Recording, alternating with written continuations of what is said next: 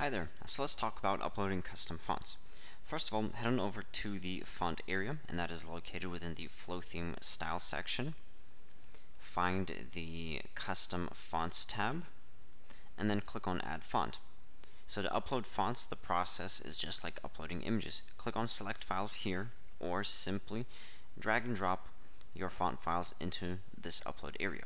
Now, in terms of the font files, it's important that you have the OTF format, the TTF format, and the WOFF format. So if you're uploading a font, like in my case, it's Open Sans, you want to make sure that you have all three font formats or font files to upload it to your website.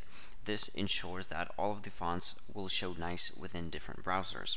So once the files have been uploaded, go ahead, click on Select, and they are essentially added here, and simply click on Update.